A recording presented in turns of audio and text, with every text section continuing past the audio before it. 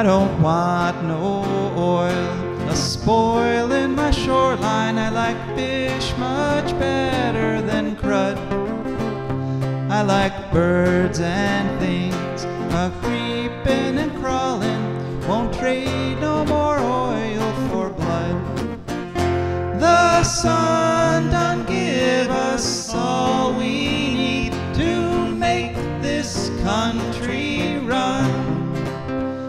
That black demon oil's got us fussing and fighting, and I do believe it's time we was done. I don't want them nukes run by them kooks who think radioactivity is fun. No more three-headed frogs or kids with leukemia. Nuclear power ain't fit a dog. The sun don't give us all we need to make this country run. But that nuclear power's got us fussing and fighting, and I do believe it's time we was done. No nukes! morning,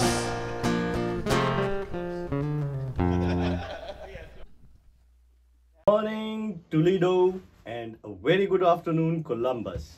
And a very big hello to those of you listening from elsewhere. My name is Shehbaz Khan, and I'm your guest host for this week on For a Green Future. As we mentioned last week, Jody Mayer, our regular host, is running for mayor of Bowling Green.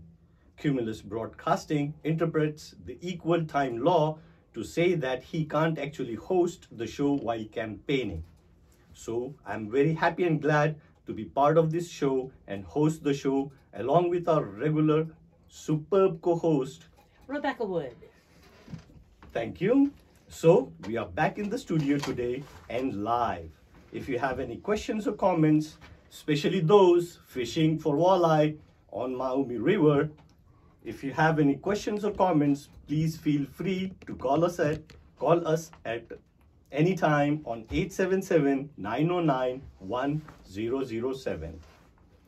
For a green future, this show is all about ecology and the environment and the ways that they affect you, your wealth, your health, your happiness, and the wealth, health, and happiness of your friends, families, and your pets. Even the fish swimming in the Maumee River and all the insects that are finally up and flying around again. Now that it's all warmed up and all the flowers that are blooming and everybody and everything. Because, like it or not, we are all wrapped up on this tiny little planet called Earth and we are all in this together. So, we have an excellent show for you this week. For the next 10 minutes or so, we will be just chatting. And I'd like to tell you a little bit more about myself so that you can get to know about me a little bit more. Uh, then, as you may know, it's walleye season and the Maumee is full of people fishing. So, first, we, we will have a recording of the official 2023 fishing forecast from the Ohio Department of Natural Resources. Then we actually went down to the Maumee and did a short but excellent interview with Monica Lewis. Uh, we found her following her passion fishing on the river along with her friends. After those recordings, we will hear from our fantastic patrons and sponsors. They are the people and businesses with the foresight to support for a green future. In order to actually happen the green future, uh, then we will hear from Rebecca. Rebecca, what will you be talking to us about this week? Food deserts. Wow, that's great. Uh, finally, we have updates on It's- news It's from. not great, but you know. yeah, I mean, uh, the it's good to be topic- aware of. the the topic is great because I think it's a very sensitive topic because as we see uh, the ecological patterns changing and everything is changing, uh, I think it is very important because uh, food is becoming a very big issue globally, and as we know, the breadbasket of the world, Ukraine, is already into trouble. So I think your insight will be really helpful. really doesn't. We, we don't need a dose of radiation there on top of everything else for starters. that is that is so true. That is Yeah. so true. And the, and that threat is continuously looming. oh yeah. Yeah.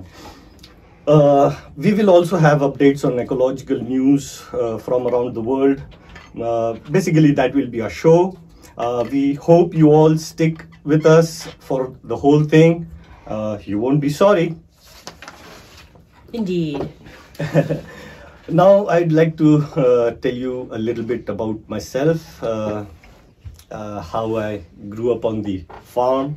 Uh, let, let me begin with my uh, academic profile first. I learned media production, uh, media communications and production in uh, University of Toledo. Now I'm, I'm learning media studies in the Bowling Green State University for my master's program.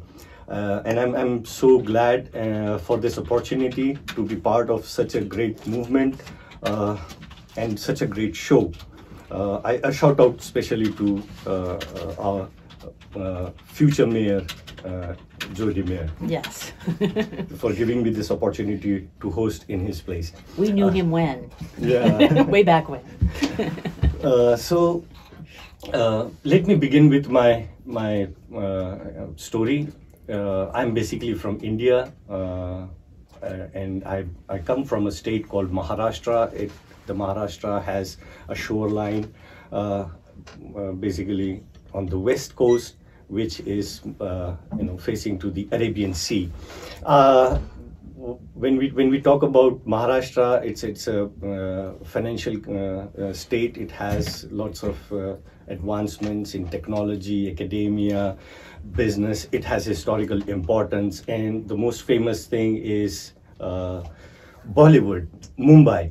So just like in the United States, when we talk about LA, what comes to mind is Hollywood. So when we talk about Mumbai, what comes to mind is Bollywood. Uh, And they know how to put on a show. I've seen it. yeah, I mean, uh, everybody It's a lot of loves the Bollywood uh, dance and music, of course. uh, but it, you know, it will be. Uh, it's not that they are totally. Uh, the, the state is only about uh, art and, and finance, but it also has great industries, uh, leading world brands, and it's also an economic hub. I grew up in a very small uh, uh, village. Uh, uh, now it has grown into a town, a pretty big town now. Uh, uh, somewhat around uh, 400 some kilometers from Mumbai. That will be roughly around uh, 300 some miles. Uh, since our, our theme of this week is water and water conservation, how important it is, I would like to uh, center my uh, story and my experiences uh, around water and how water, I've, I've experienced water change the lives of people in, in the village where I grew up. So uh, this small village called Nandura, it was it was a small village with a flowing river, a small river, and it had a very small forest and good wooded area. There were lots of flora and fauna. Uh, the thing is that uh, the animals on the farms, they, and we had lots of animals on the farms. We had buffaloes and sheep and goats, and also bullock carts and donkeys, donkeys to carry the load for donkey carts. So uh, it was it was uh, very nice, uh, and I have not personally experienced it, but all these things when I listen from my elders, my relatives who have actually seen these firsthand, uh, it, it feels so fascinating. But when I visit, when I uh, talk about my town now, my village now, it has completely transformed. Uh, although it has modernized, uh, it has developed, it has you know evolved into uh, a higher society, as we can say. But uh, at what cost? The the uh, water levels depleted due to the deforestation and cutting down of the trees. Uh, the, the the animals got affected because of that. The domesticated animals, as well as the the wild animals in the woods and forest, uh, they were directly impacted because you know the the pasteurizing lands and the water flowing. The, it it it slow and steady, all these natural resources started depleting and they were having adverse effect, not only on the animals and the farms, but also the farmers. The farmers were struggling uh, uh, not only on their farms but also in their houses because it was impacting their daily routine, their, their daily lives. Uh, so the depleting water, uh, deforestation, uh, loss of animals, you know, domesticated animals. so loss of livestock, to be to be to be more precise. Mm. So that those things really impacted, and you know that kind of drew me closer when I hear more about that uh, such such cases, how important ecology and eco uh, ecosystem is, how important our, our climate is apart from that, uh, what what really interesting is when I when I grew up and I started working with with uh, advertising media and I started working for a firm, uh, an organization that uh, uh, dealt with agriculture-based products. So they used to buy agriculture-based products, fresh and and uh, dry, like dry means like maize, wheat, and all those, and fresh like fruits and all fruits and leafy vegetables. So what, what maize and wheat, these are not traditional Indian crops, right? You're, I assume you're uh, growing them for export, or maybe they've become more people in India eat this stuff now? Uh, uh, India is a very big exporter of uh, uh wheat and uh, corn. Yeah, there you go. And corn. They, they're, they're a big exporter. So, uh, but the thing is that building up dams and the depleting of uh, rivers, building up of industries. I'm not against industries as such, but this industrialization, modernization, at what cost? We need to be very careful about that as well. We need to consider that as well, because uh, as we can see, you know, I hear it, uh, the the good green stories about my village from my elders, and I tell the good green stories to my younger generation. But they won't be able to tell these green stories to their kids, their generation. So what we are doing is we are on the behest of industrialization and modernization and advancement. We are robbing our younger generation of all the you know the the ecology, the survival of this planet. So I think we are putting our younger generation into trouble in in a, in a sense. That they're just going to sit there and hear your story, be like, "Mom, Grandpa's talking crazy stuff about forests," you know, that had dragons and unicorns in them again. he just makes this stuff so, up. Yeah, that is that is so true. I mean, they they won't be. I mean, it will be all in in just you know books like like fairy tales. You know, they won't and they won't be able to experience it firsthand.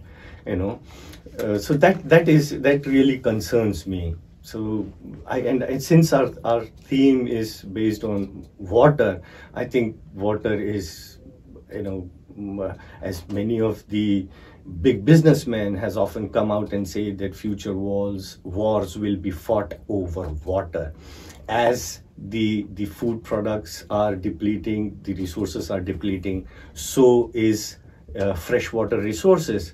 Uh, one of the biggest freshwater resources planet earth has is uh, are the glaciers. And we we see slow and gradually the the melting of ice caps and ice i mean not so gradual yeah. anymore. Some of them are just gone now. Yeah, I mean, kind of horrifying. So the, the, the natural resources for our freshwater resources they are also depleting, and they are going to affect the ecology, the the rain and everything. So so eventually, I mean, we are going to get into trouble if we don't wake up. So keep listening to for a green future and stay tuned with all the ecological uh, updates.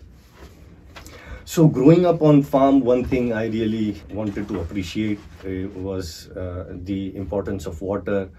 Water is water literally is life, and we here in Northwest Ohio are blessed with the kind of abundance of water resource we have here. Uh, I really admire that. Where there's water, there are fish. So now we will listen to the Ohio Department of Natural Resources official fish forecast for the year 2023. In the first part of this recording, uh, Travis Hartman Uh, he is the manager for Lake Erie Fisheries Program.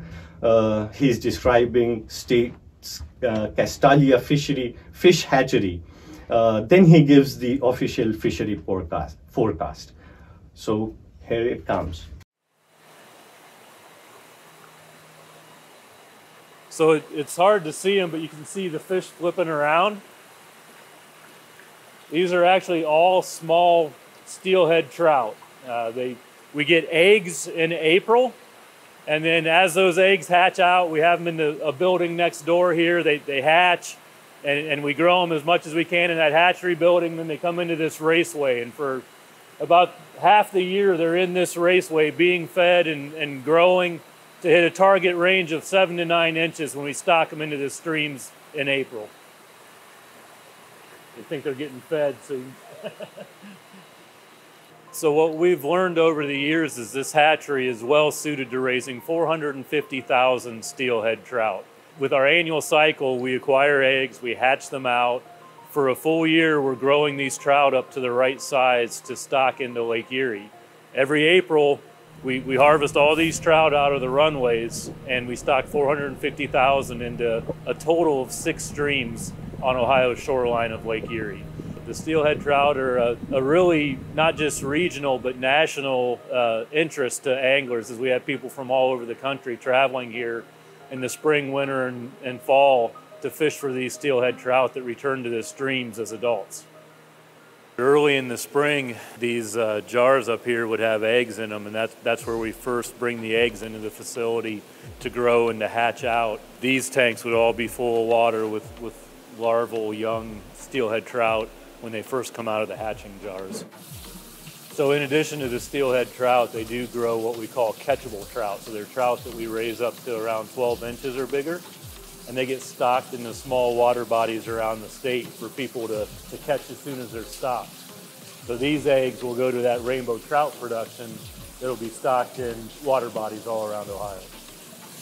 Here on Lake Erie, we're expecting an incredible 2023 fishing season. We have walleye catch rates that are higher than we've ever seen. Beyond that, we have some really good Western Basin yellow perch fishing. Yellow perch are really uh, favorite eating fish for a lot of people, and, and we have a, a, good population and good fishing in the Western Basin right now. In addition to that, uh, smallmouth bass fishing will be great, and of course, all year long you can find a place to catch these steelhead, either out on the lake in the summer or in the tributaries in the cold months.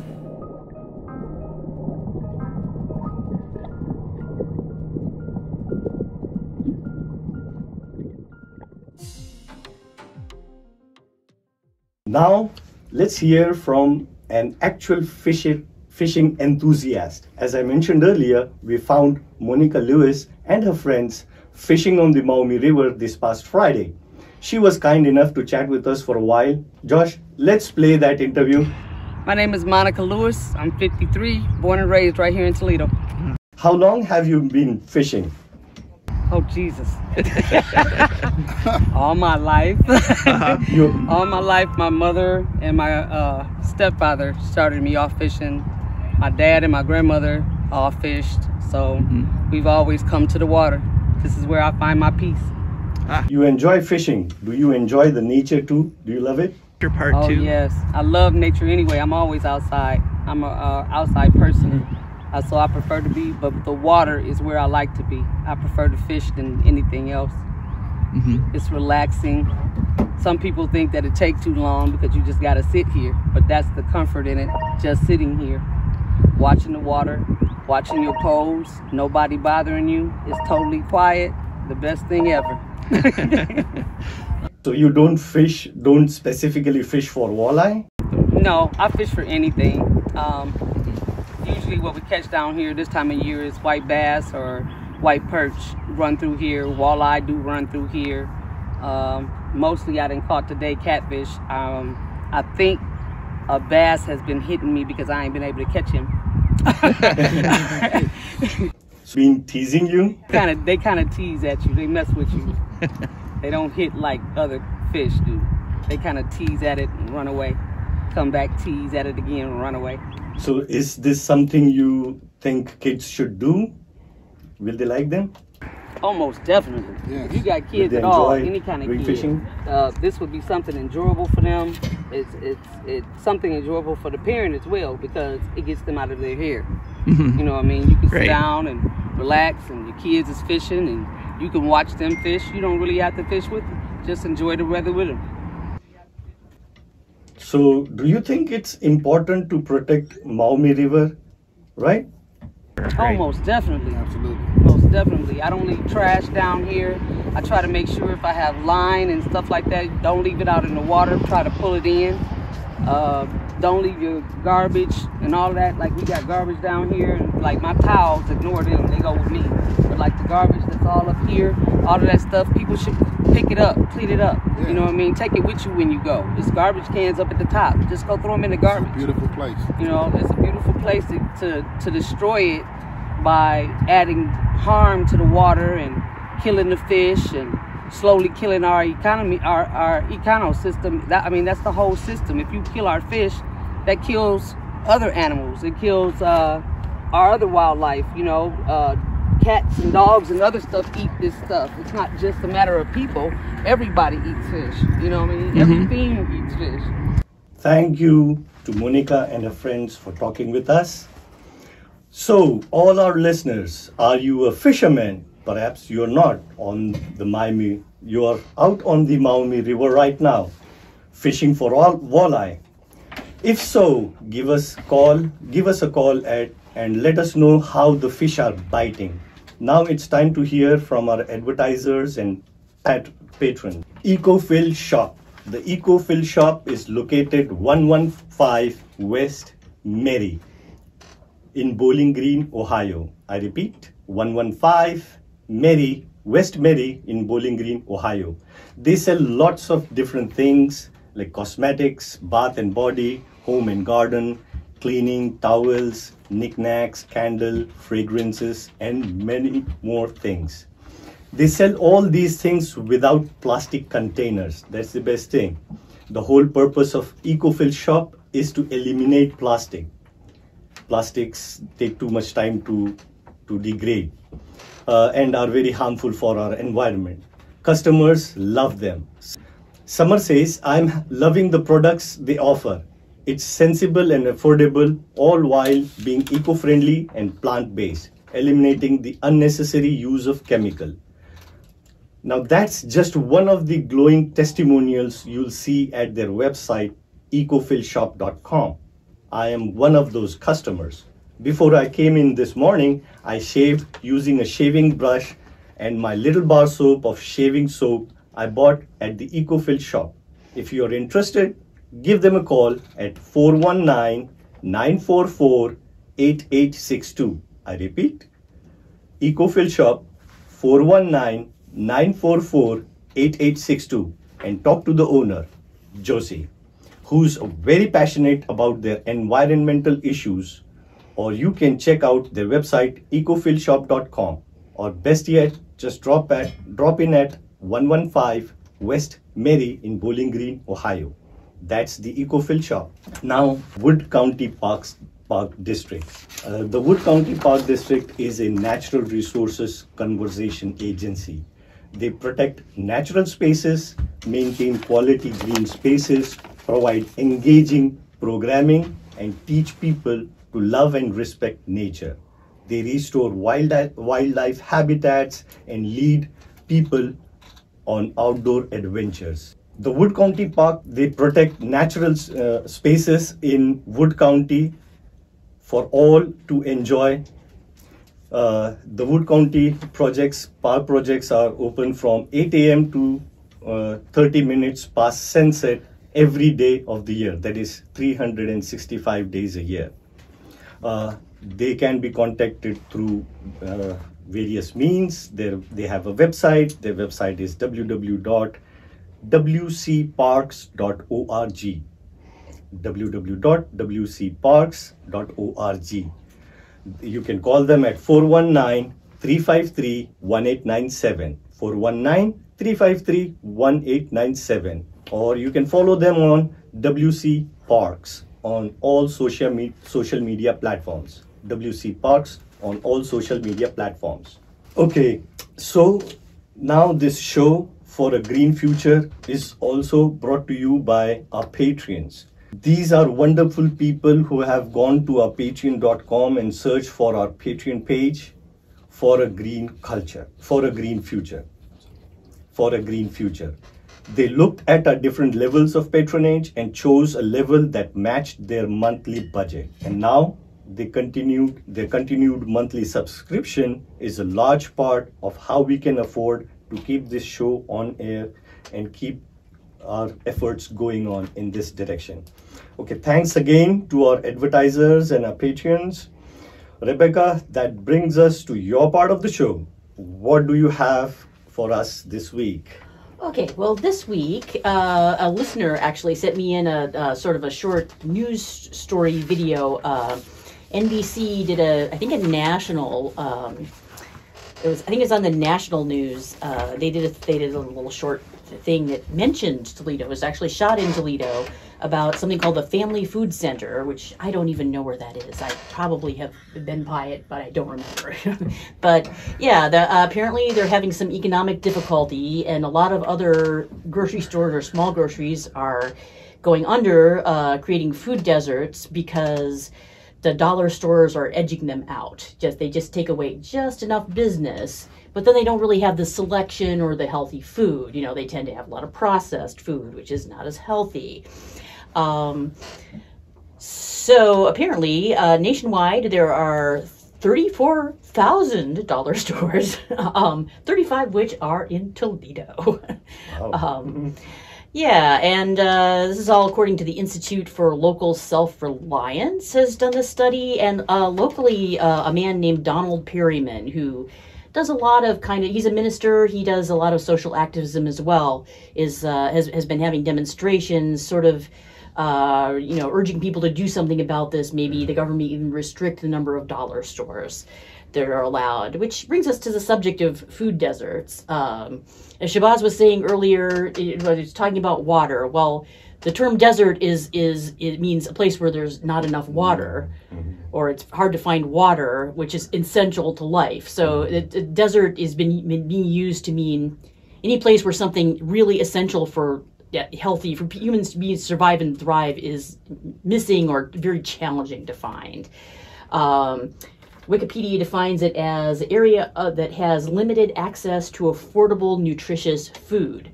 or as a rough metric, um, if you don't, if you live in the city and your grocery store is over a mile away or 10 miles in the country, you're considered to live in a food desert. Although there are a lot of other factors that go into that. Like, okay, is the food affordable?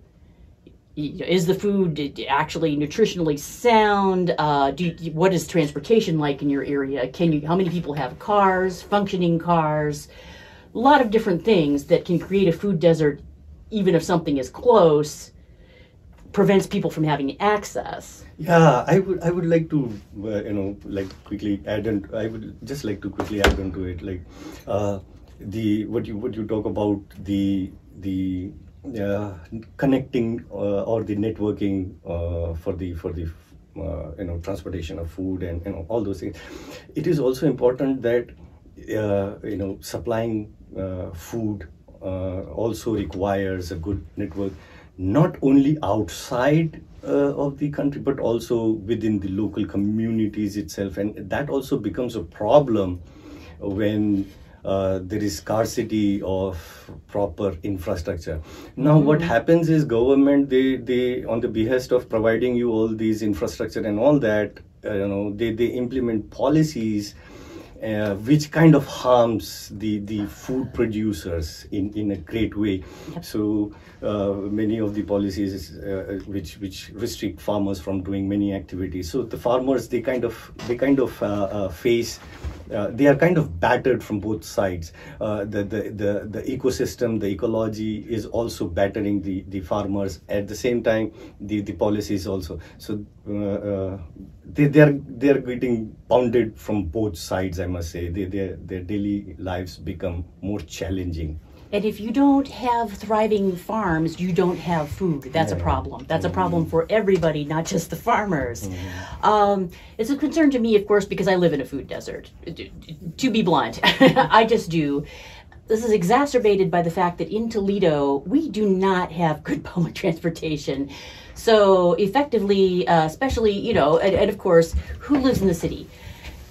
Ethnic minorities live in the city, elderly people live in the city, and disabled people like myself live in the city. And uh, you know, I'm restricted. For example, like there's a bus bus line that goes right past my house. Great, okay, but there's no place to sit unless you walk a few blocks, and I can't stand for very long. So that's a problem. Also, it only comes every other hour. So yeah, that's feeding it too. So you know what happens at my house if I need some ingredient? Oh, I ran out of garlic powder. I you know I I need to fill the whole refrigerator, whatever. Um, well, we get rides obviously. Sometimes I, I do my own bus trips to go get food and and haul it home in in a wheelie suitcase or something. Then the next day I'm sore and I can't do anything for a few days, which is bad because I need to be able to do things for us for our survival, really. Um, locally you can walk down maybe well it takes me like a half hour because i hobble. I can hobble down to bancroft street 20 minutes away. There is a family dollar. Lately it's been closed. I don't know what's going on with that they're remodeling it or something or maybe we don't even know. Maybe it will be closed altogether. Um, also there okay there's a str- there's a bunch of little tiny convenience stores that have a lot of stuff that's horrible for you. If you're very lucky, you can find a package of bologna, maybe, or you can find, you know, something very, very expensive and bad for you that you can heat up in the microwave. and we have a limited budget. You know, we, we get paid every month. So that could mean trouble for us later in the in the uh, in the month. Or, you know, if we if we can't get to the grocery store in the time, you know, in the, towards the beginning of the month, our willpower breaks down and we order pizza because you know it's just it's the beginning of the month we're doing all our errands for the whole month in the first week because that's how people who get paid every month live.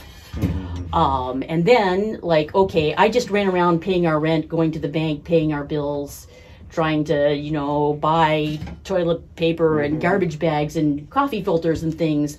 I don't want to I, I i can't stand up and cook dinner too you know i can't do a grocery stip on top of that. And uh, so there's that you know to some extent, and and this is a thing. Um, apparently, to some degree, community gardens and food banks do ameliorate, do do lessen this problem. Um, so you know, sometimes we get like a little our, our local community garden food not bombs giving away free food thing. Um, we have one garden that's a few blocks away. It mostly seems to cater, like they have parties there that people who are involved with the organization go to and eat food. Other people could come. Some people from the community do come. You know, it's not really going to put food on your table every day. And then during the pandemic, they did a really heroic job of like expanding their service and having delivery once. It was only once a week, but they were doing what they could, you know and uh, then I think now they've cut back to just going to what the the local needle exchange for for addicts because addicts have a lot of trouble getting food and holding down jobs. You know, they're they're busy. So, yeah, they they they do need this. So it's a resource, sort of, but because my roommate's involved, once in a while they'll send us home a plate, so we get that. You know, um, mostly vegan food, not too bad. Or, okay, there's Grace Community Center, which is right down the block from us. Uh, they appear to have some kind of a soup kitchen going on. I, I, I, I know they have a like a giant, really beautiful garden, and they send people home because I walk my dog there, and I have to fight her about uh, trying to eat the food people have dropped on the ground a lot. and then, like two blocks away, there's this little kind of a pocket park, you know, with just some swing sets, equipment behind that, there's a couple of abandoned houses. One of them has the door open, the back door open, and I'm always finding uh, like discarded food items, canned goods, and things in the bushes. So mm. I think people who are living in there, there are some homeless people living there who like eat at the food kitchen, bring things home, you know, have the park as their dining room, basically. So you know, that's not a bad thing to do. It's it's it's helping to some degree, uh, it's a complicated problem. It has to be attract, attacked from uh, multiple multiple angles. Um, also, we have a lot of fast food. You know, we end up eating McDonald's a lot. That's that's partly because my roommate has poor impulse control.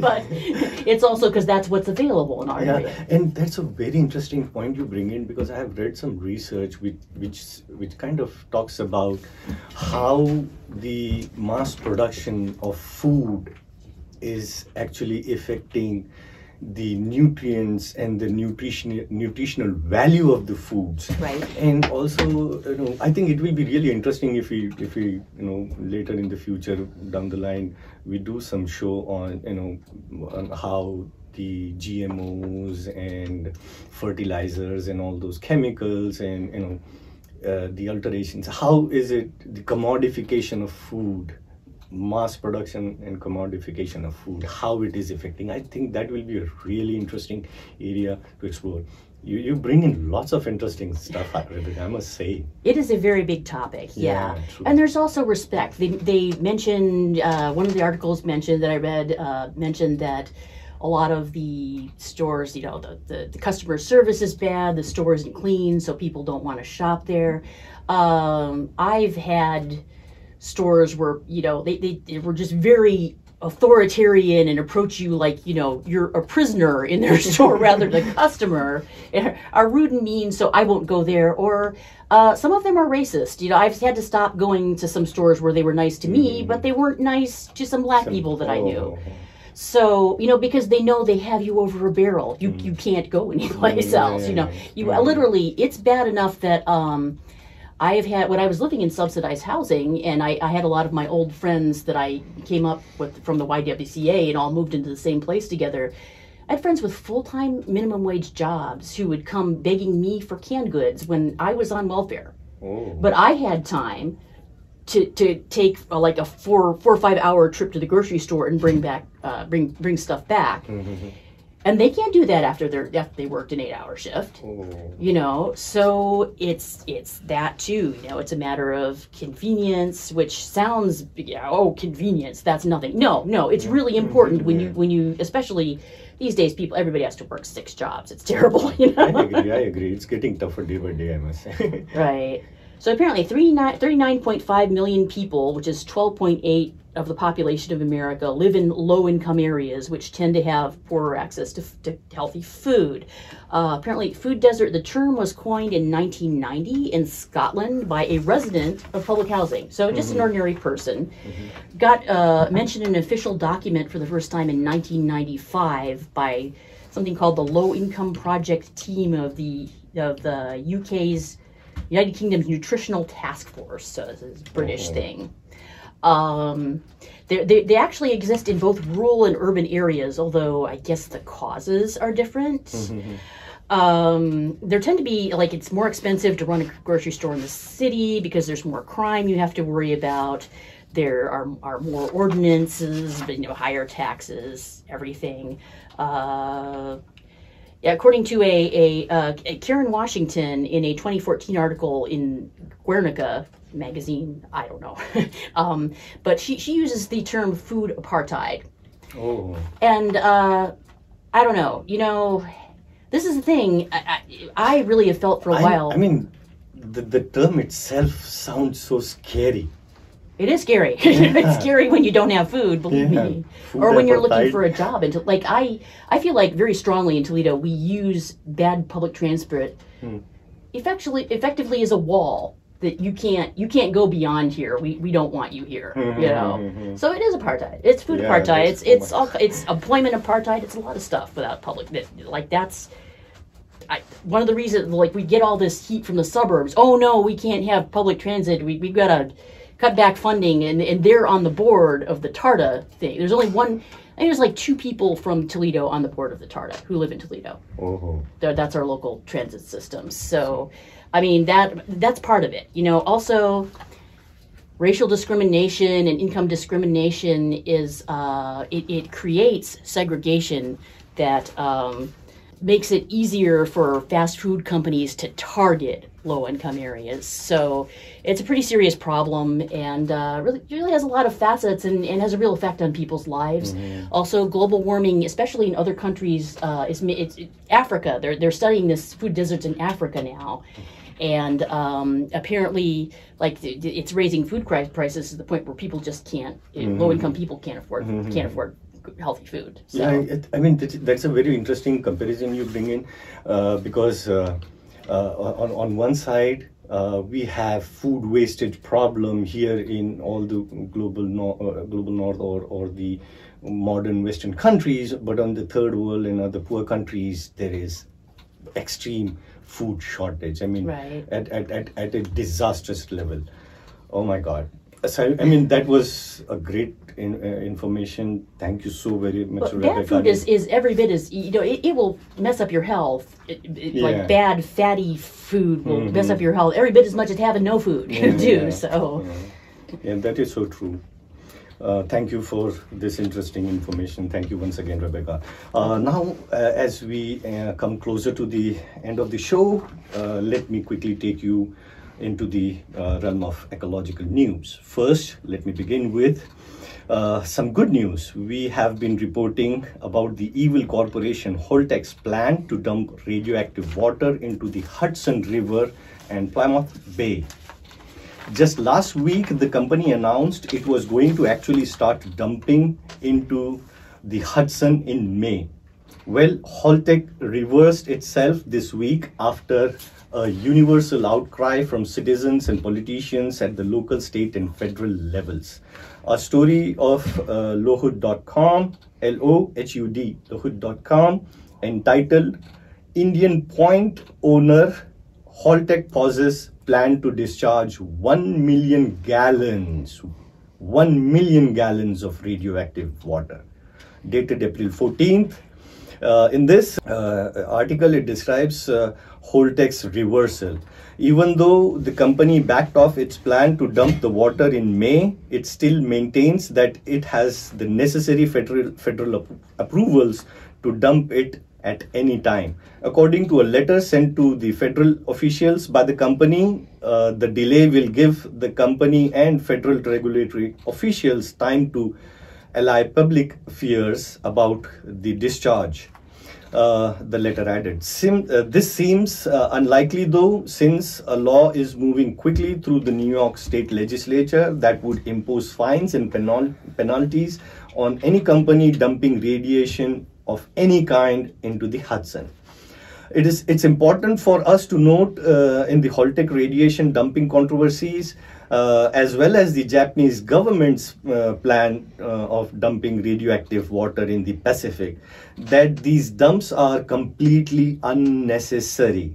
Tritium is the radioactive isotope which they are trying to dump of hydrogen that causes uh, the wastewater to be dangerous. Unlike some radioactive isotopes that are dangerous for thousands or even millions of years, tritium uh, has a half life of only 12 years. That is much less as compared to other radioactive material.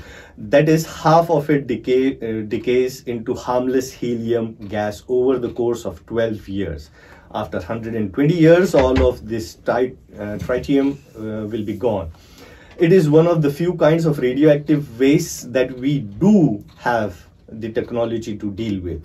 All we have to do is put in uh, put it into tanks and monitor it for leaks for 100 years. That is what we can uh, and what we can and we should do. Dumping the tritium into our waterways while it is still dangerously radioactive is the worst possible method of disposal. Now moving on to some news from Europe. Europe is switching to renewables at a breakneck, uh, pace. Uh, DW, the official German uh, German news agency, released a report on April 8 uh, uh, entitled "How Putin Made Europe Go Green Faster." It's available on YouTube. You can watch it on YouTube as well. DW has discovered that despite Putin's attempt at blackmailing Europe by cutting off their energy supplies, uh, the lights have stayed on. Europe's economy is growing, and Europe's carbon emissions have actually decreased by 2.5 percent in the in the year uh, 2022. The reason is simple: the European Union is switching to wind, solar, and geothermal energy. In 2021, the European Union got 40% of its gas, fro- uh, gas from uh, Russia and millions of tons of coal. Even though many coal plants were brought back online, they were barely used. Only 18% of their capacity was utilized. wind, solar, uh, wind and solar actually made up most of their uh, energy, energy storage. Uh, coal was hardly used. Uh, they produced more power in 2022 n- than nuclear gas or coal. Uh, this record installations of uh, wind, solar, heat pumps, and batteries, uh, heat pumps, uh, heat pumps in particular, more than doubled their installations in 2022. Now coming back to our home uh, home state, uh, that is Ohio. Uh, our next story is about the development uh, from uh, the April 10 story of East Palestine contamination case. You'll remember that back in uh, February 30. Oy uh, vividly. yeah, yeah. Uh, uh, that was a great disaster. 38 Norfolk southern uh, southern train cars derailed, releasing many tons of pollution. The vinyl chloride was burned off, but the waterways were poisoned and the soil contaminated. We visited the crash site less than a week after the accident and documented that uh, there were still chemical odors in the air that caused the headaches and nausea. You can you can uh, find all our reports on this uh, on our YouTube channel for a green future. Our YouTube channel and podcast for a green future. Well, the problems continue with the cleanup of the wreck and its contamination on April 10. April 10th, a truck carrying 40,000 pounds of contaminated soil from the East Palestine wrecked and overturned in Unity Township, uh, just a few miles away from East Palestine. Uh, the Ohio EPA has uh, uh, given their usual assurances that there was no danger from the contaminated soil soils and There's that- never any danger, according to them. yeah they always say that in the beginning even if if the the oil rigs uh, offshore oil rigs catch fire they, they- Basically. yeah they they keep on saying that No danger, bring your marshmallows. yeah I, I mean they even said that during the the iraq war when there was you know extensive oil spill even when the the bp oil spill uh, uh, incident happened the initial statements always are somewhat similar Kinda, yeah. that i would that i There's would say. depressing similarity. There is. Yeah. Uh, so they have given the assurance that there was no danger from the contaminated soils and that none of it had entered waterways and that the cleanup was proceeding normally. We are, we here at For a Green Future show we uh, tried to find out where the crash truck was headed.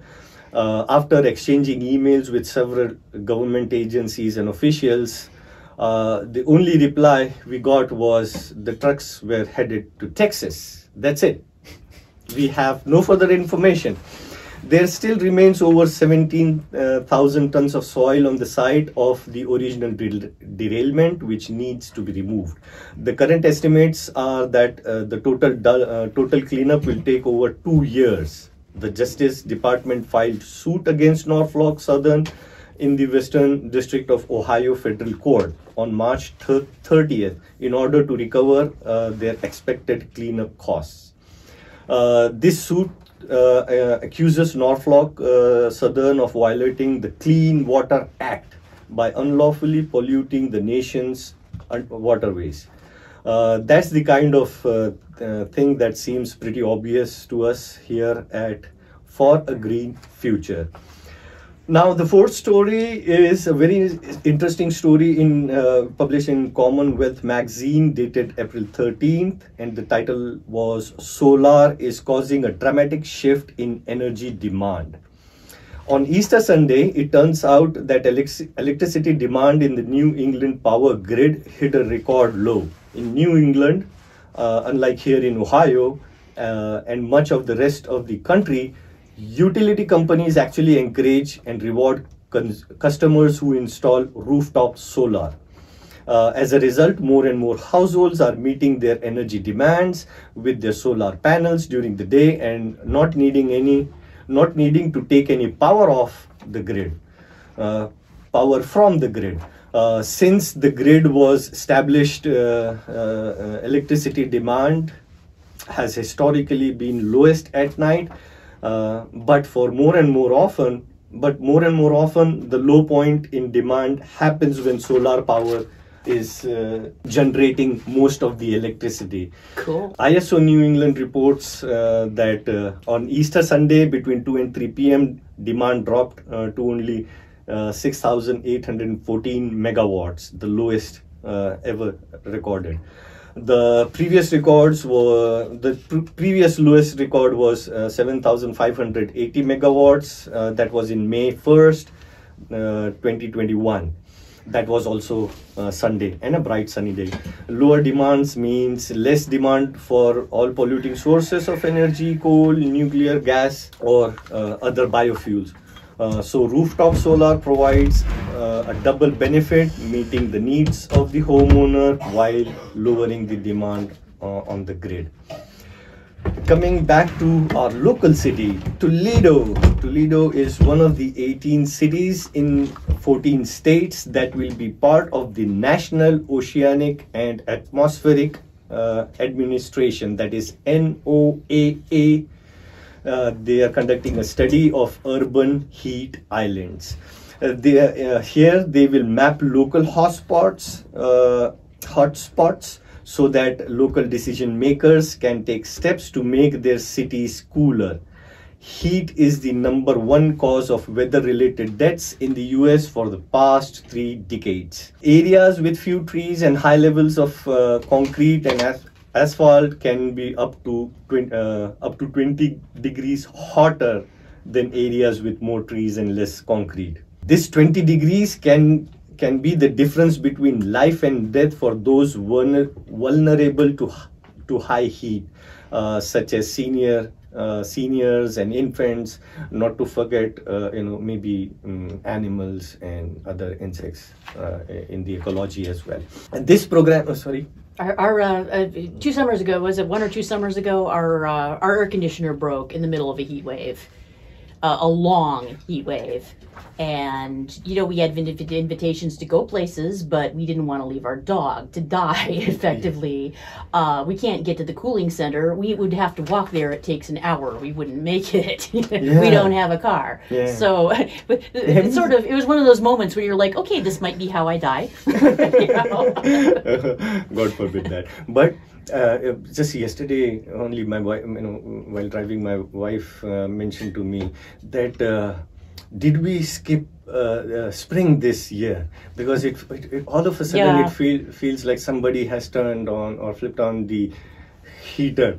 you know, it's it's so. It was a lovely half a day when you didn't have to have the heater or the air conditioner on. yeah, yeah. So, so I mean, see, this this is a very good example of what a twenty degrees Right. means like. You know. Absolutely. Yeah. So, so this program uh, of NOAA, uh, what they're doing is they are uh, using uh, volunteer citizens uh, and scientists to take the measurements. Sensors are mounted on bicycles or cars and ridden through the hottest parts of the city during heat waves. This program uh, uh, was actually started in, uh, back in 2017 and it has so far helped more than uh, 70 different communities. So I think that will be a good uh, benefit for us as well. Uh, some of the strategies uh, communities can use to eliminate danger heat islands are, uh, is through planting trees, uh, mm, public, uh, public transit shelters that air conditioning, and developing heat emergency plans.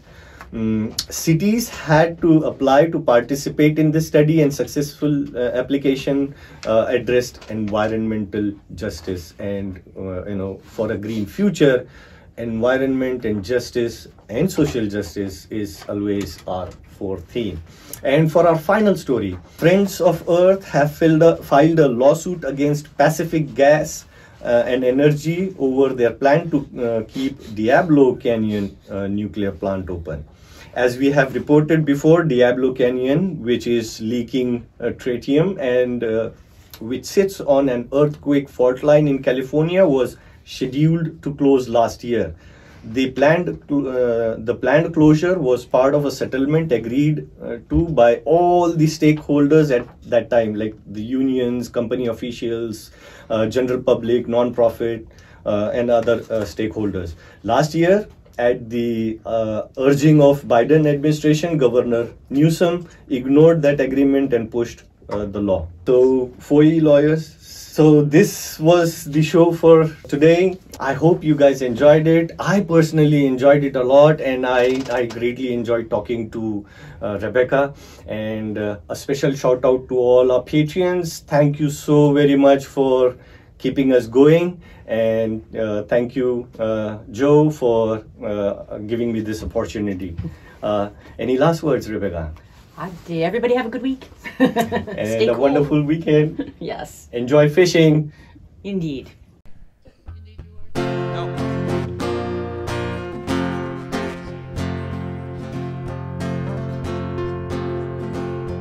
I don't want no oil, a spoil in my shoreline. I like fish much better than crud. I like birds and things a creeping and crawling. Won't trade no more oil for blood. The sun done give us all we need to make this country run. But that black demon oil's got us fussing and fighting, and I do believe it's time we was done. I don't want them nukes run by them kooks who think radioactivity is fun. No more three-headed frogs or kids with leukemia. Nuclear power ain't The sun done give us all we need to make this country run. But that nuclear power's got us fussing and fighting, and I do believe it's time we was done. No